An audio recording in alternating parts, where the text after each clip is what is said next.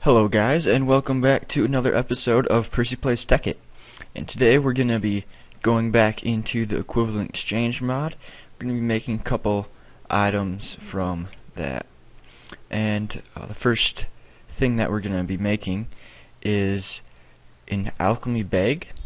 And what this is, it's kind of like, I don't know, it, it makes your inventory way, way bigger uh, when you right click it. Uh, so first we're going to be needing an alchemical chest which we've made a couple times with our uh, energy condensers.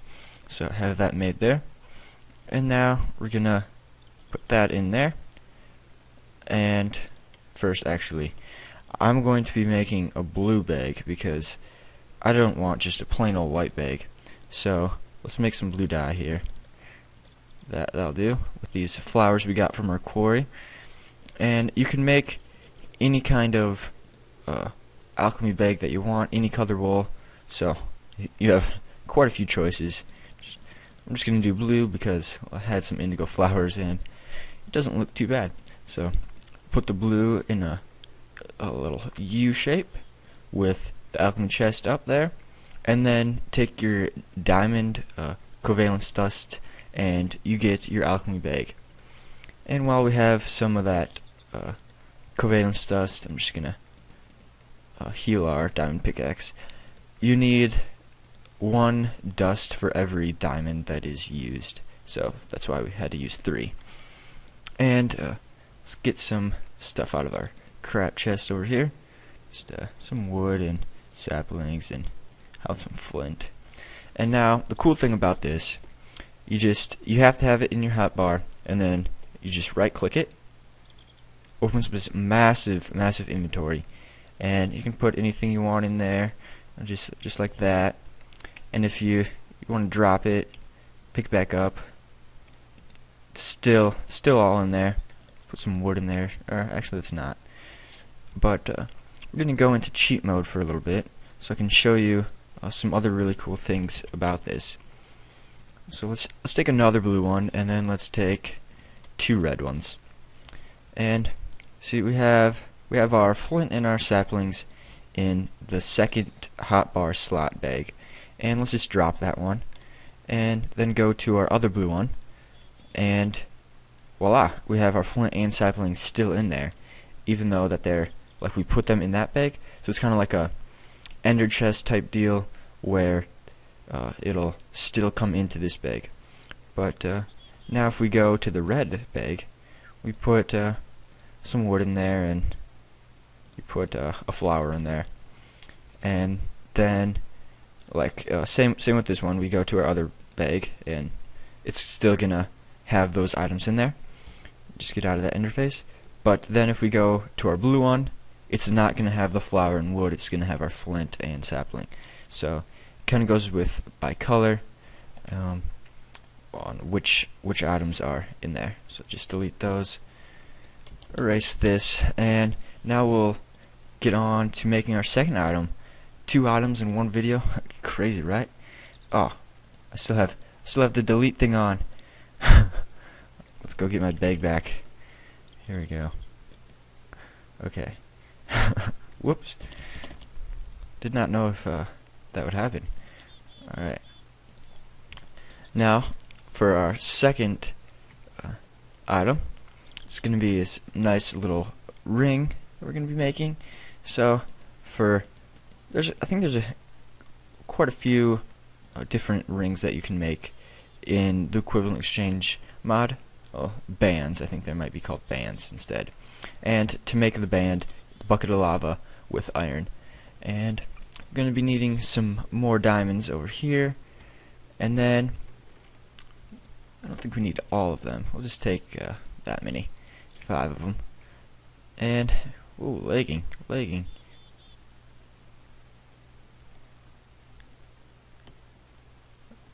Okay, here we go. Some, what the heck is happening? Keep going straight. I'm not pressing anything. Just just a sec. I'm going to save and quit and come back. See if this uh, helps any. Okay, I think we're good now. Come over to this pod over here, our energy condenser, and we almost have four, and now we have four dark matter, and that's what we needed. And I've added two more antimatter relays and a few more of these, uh, these, uh, what are they called? Energy collectors? Yeah. And I'm making some, some more fuel. Let's, let's grab that uh, glowstone dust out. And now we have to go back to our crafting table, which, uh, maybe I should have had one out here, but, uh, it's okay, it's just, it's a little walk, it's not that big a deal. Now what we're going to do with our band, put our band in there, take our feathers, like that, and then our dark matter on the outside. And we get Swiftwolf's Rendering Gale.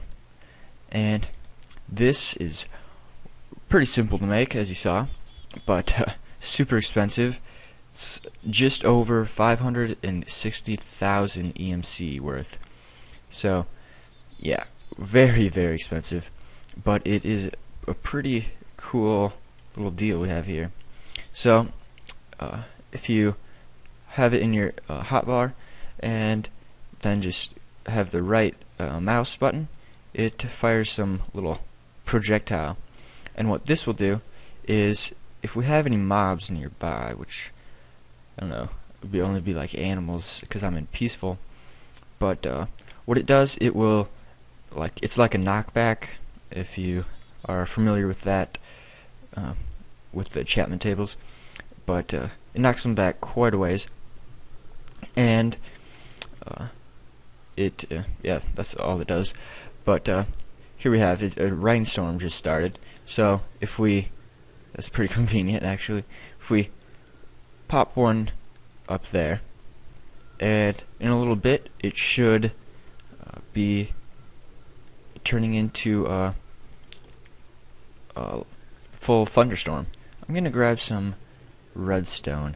Cause I don't know if the glowstone is actually working as a fuel for our ring, because it is going to take some... Let's try that again. Oh, okay. Now you see the redstone went down one, and now it's getting super, super dark, and there's th the thunder. And just there we go. You maybe can hear the rain now. And it, now, if uh, you were to try to projectile an animal uh, with it raining, you can see it would give them a nice thunderbolt to their face and kill them.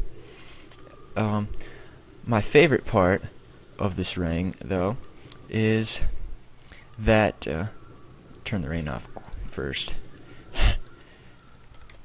is you can fly with it. So what you do, double tap space.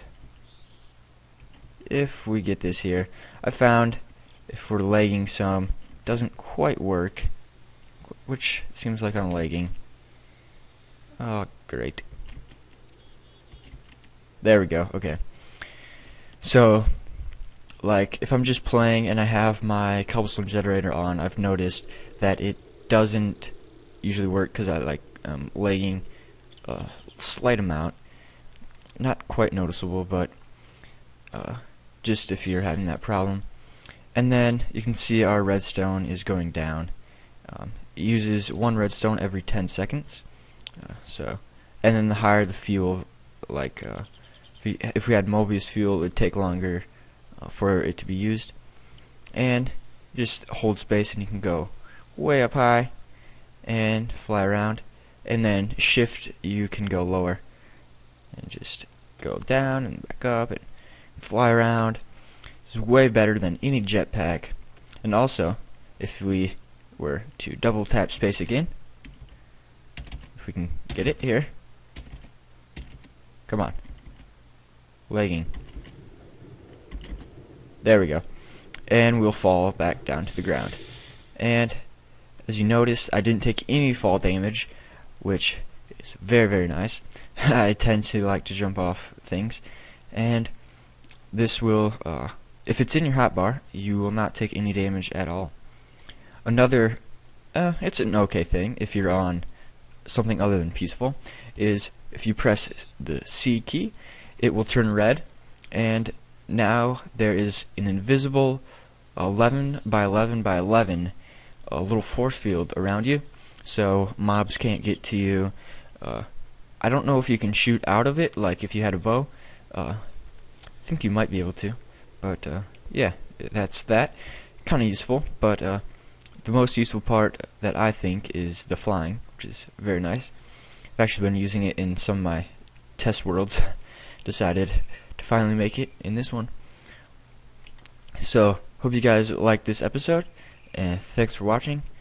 Um, please comment. Uh, I like to read all your guys' comments. And please subscribe. Thanks.